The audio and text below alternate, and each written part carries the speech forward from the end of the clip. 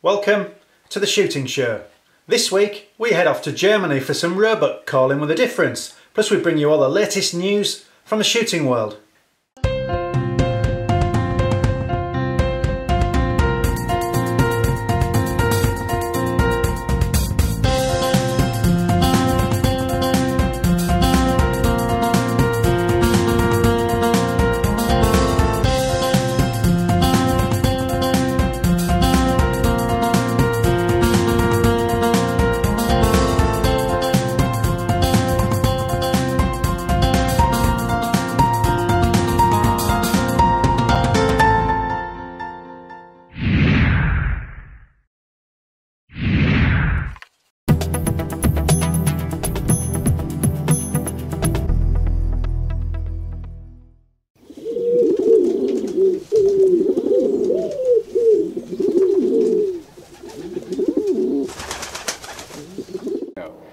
My name is Maruan Al Hammoud. Um, I'm the marketing manager for the Geco Optics and I'm working for RUAG.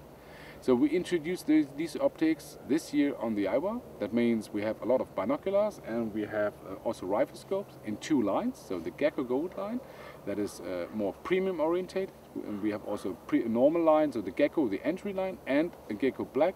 But that is for hunting not so important, it's for tactical shooting. So here on that event we are focused on the Geco Gold line and we invited a lot of international journalists to come to that place here in Liebenberg next to Berlin.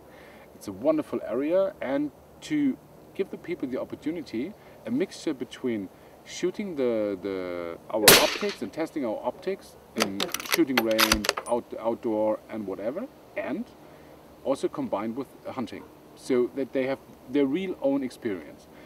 And that event a lot of companies uh, support us. For example, you know, they, they got uh, Seeland gear or the new Seeland stuff, jacket, trouser. Then we have the guns from Rössler. We have the robot collar from Rottumtal, the Rottumtaler Klaus Demel, good guy. And all this together is the opportunity to test a package under real life or under real hunting conditions.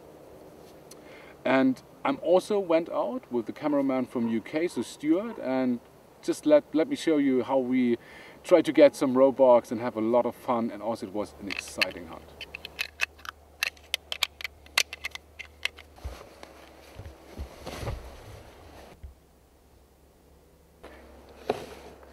Don't have to tell you, walk slowly.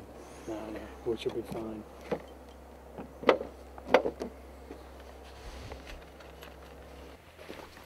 This isn't just any hunt. Maruan's taken us out on a prestigious German estate. There's no shortage of deer either, as the sign on the ground shows.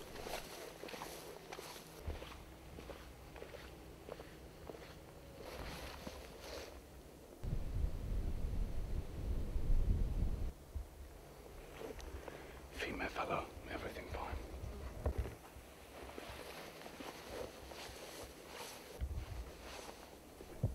Ascending the typically impressive German high seat, Maruan awaits some suitable quarry.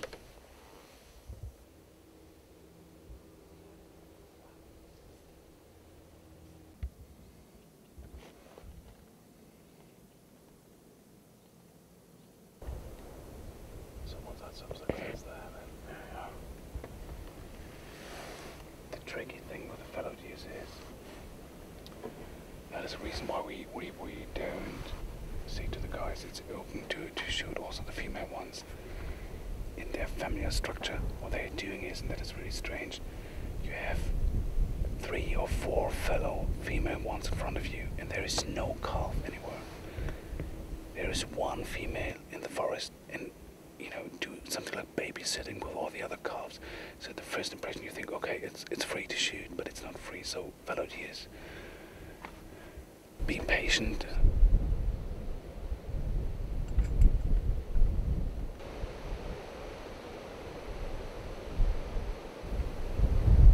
With plenty of fallow but no roe showing up so far, we decide to try calling.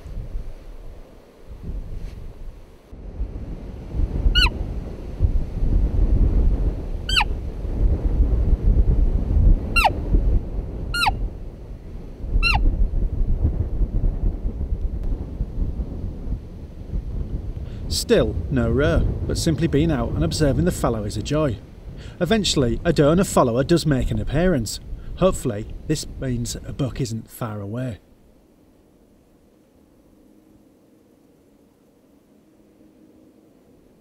Two big spikers, three big spikers. Got it.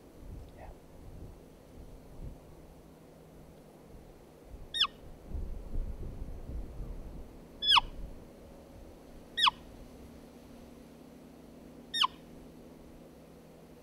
Down low. Look at the screen. It's amazing how many game they have here for.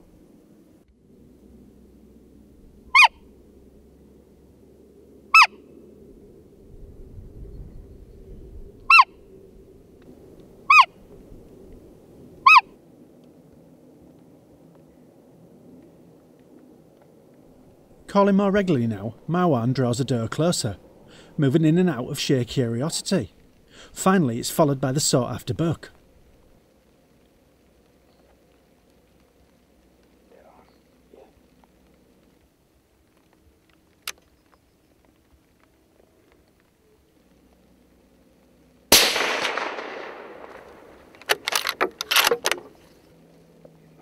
He's done. He's in the gate hole there. I can see him. Maruan stays on aim for a second shot if needed, but this buck isn't getting up. The area settles down swiftly.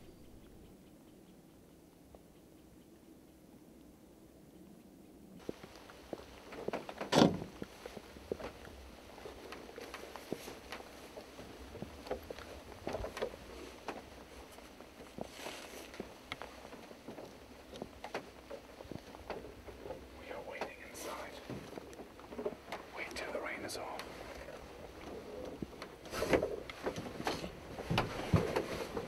We told you this high seat was impressive.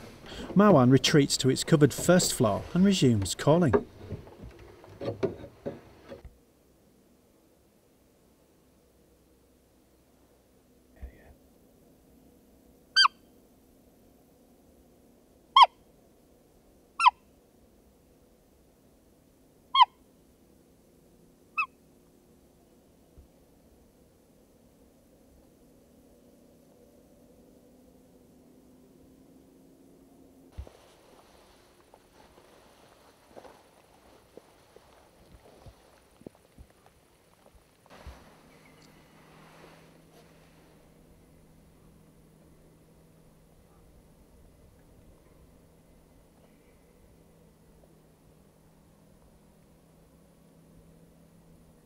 Trying now is because we don't have that much time. I just try to imitate young kids screaming for the mother. Maybe they can come over and the roebuck will also come to us.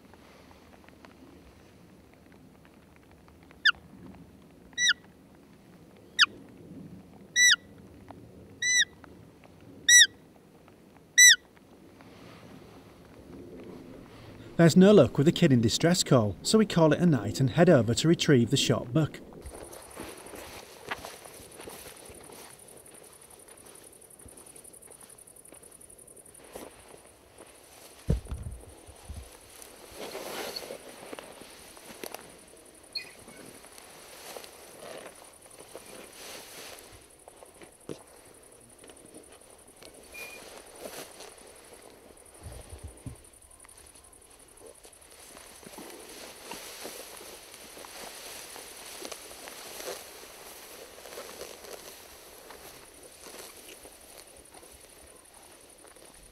Heading back to the larder, we find that the other guns on the estate have had some luck too. The buck is quickly processed and put in the chiller. It's certainly going to go to good use, as Marwan will explain. But first, an attempt at a bonus morning stalk. Aber wir haben es nicht erkannt. Ich stand auf 370 Meter. Okay. Alles klar, am dichten, genau. Gut. Okay, jetzt. So. Deiner? Ah. Ja, auf jeden Fall. Was sagen? Ey, komm her. Alles gut. Mehrjähriges. Mal gucken, wie alt er wirklich ist. So.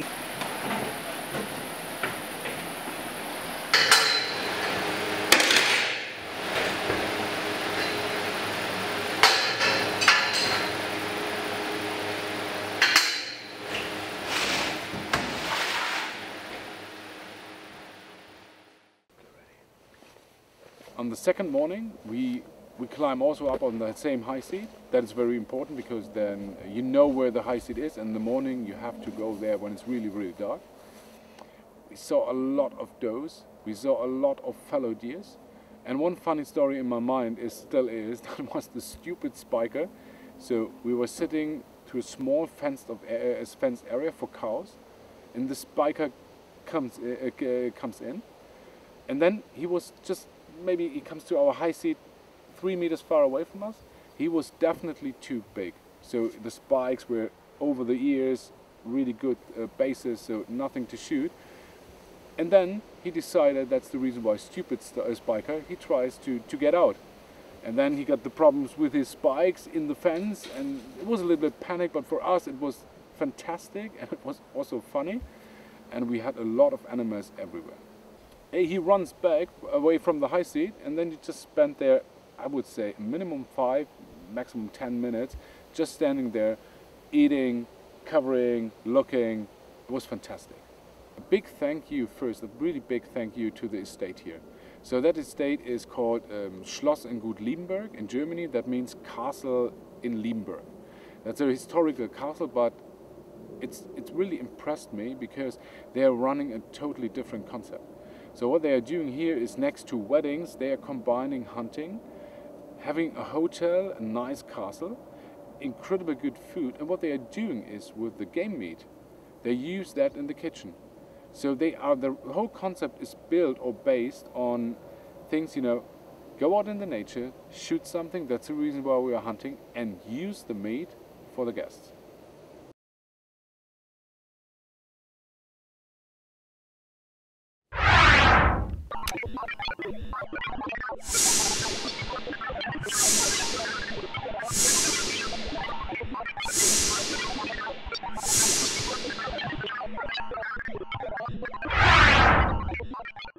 Maruan doing it the German way there. And now, the Shooting Show News. This is the Shooting Show News. The wildfowling seasons are here and the outlook is good, says BASC. Resident duck and goose species have had a reasonable breeding year, with mallard, Canada, and greylag spotted up and down the country. Bolstered by migrant ducks and geese, they should make for a successful season. You can download a guide to wildfowling opportunities near you from basc.org.uk. A widespread review of shooting on national land in Wales is underway. Natural Resources Wales is asking for views on whether the use of firearms is appropriate on the land it manages. The Countryside Alliance says it has discovered that a similar review was only conducted recently, and that review found that increasing the shooting opportunities on NRW's land could earn it an extra half a million pounds a year. You'll be able to give your views when a public consultation opens in the autumn. Paul Turner took home the top prizes at the Classic DTL at Bywell. Incredibly, he went straight through two full rounds of DTL, scoring 200 600. Then he turned up to the Super Shoot Off and went straight through that as well. Paul wins a Perazzi shotgun and the coveted Classic DTL trophy. There'll be a full report in the next issue of Clay Shooting magazine. And finally, don't forget tomorrow is your last chance to bid on Sporting Rifles Save the Rhino auction. All bids received by noon tomorrow count, and with the total raised hovering just below the £20,000 mark, your bid could really make the difference. Foxing, stalking, overseas hunting and photography safaris and kit are all on offer, so you can get the hunt of a lifetime while supporting rhino conservation at the same time. To find out about every single lot and leading bid, head to the Sporting Rifle website now. That was the Shooting Show News. Well, that's it for this week. Thanks for watching. Please like us on Facebook and follow us on Twitter. And if you're not a member of BASC, it's time to join now. BASC, looking after your sport, looking after you. This has been The Shooting Show.